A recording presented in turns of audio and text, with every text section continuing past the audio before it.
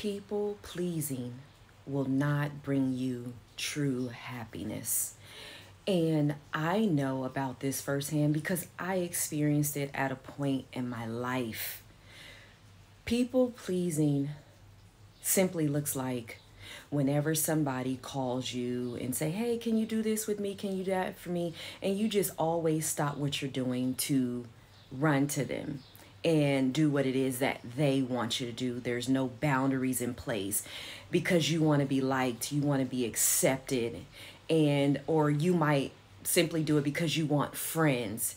And that is a temporary situation because 9 times out of 10 I'm sure if you've been people pleasing those people are probably not even around in your life anymore. I know they're not in my life anymore and it took me some time to stop with the people pleasing.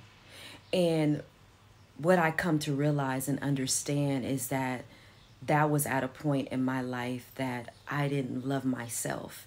And I was looking for validation and acceptance through other people.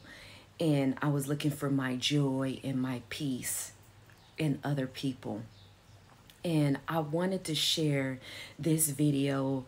If you are experiencing or doing the people pleasing thing, I'm going to tell you right now. When you finish doing all of that, the only thing that comes from that is you can look around, those people are nowhere to be found because you open yourself up to be taken advantage of and used and abused, and that's it and um, those people, they get what they can from you and they move on to the next person. So do some self reflection. If you feel like you have been doing some people pleasing, I would just say look inside, go inside, take care of yourself, and surround yourself with people who genuinely care about you. And how will you know that? They don't have a motive.